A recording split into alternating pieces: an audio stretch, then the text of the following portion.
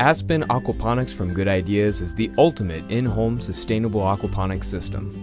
The Aspen grows fish and vegetable plants together, forming a symbiotic relationship that makes food for your family. Use a level surface that can be cleaned easily from minor spills and follow the setup instructions. The whole unit can be assembled in under 10 minutes and only requires a handful of connections.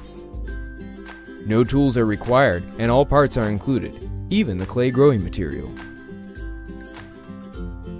You may also attach the light support which can hold a typical 24 inch grow light or even trellis material for growing vines and tall plants. Before adding the clay media, puncture the bag several times with the screwdriver and rinse or soak the bag in water to remove excess clay dust. Then add the clay while keeping the bell siphon guard in place. When the clay is set, add 40 to 50 or more gallons of water depending on your desired setup. You can use either fresh spring water that's chemical free or tap water. We've also included several stabilizers to neutralize harsh chemicals and help balance the water. Once the levels are correct, add your desired plants straight to the media. Refer to the instructions for growing details. When the plants are stable and beginning to grow, you can then add your fish. Use edible fish such as perch, trout, tilapia, or even fish you don't intend to eat such as koi or goldfish.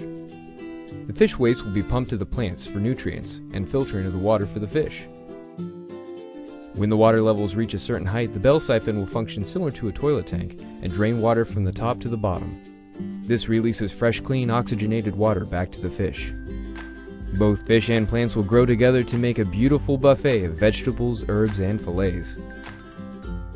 You can then harvest and enjoy delicious, sustainably created meals right from home.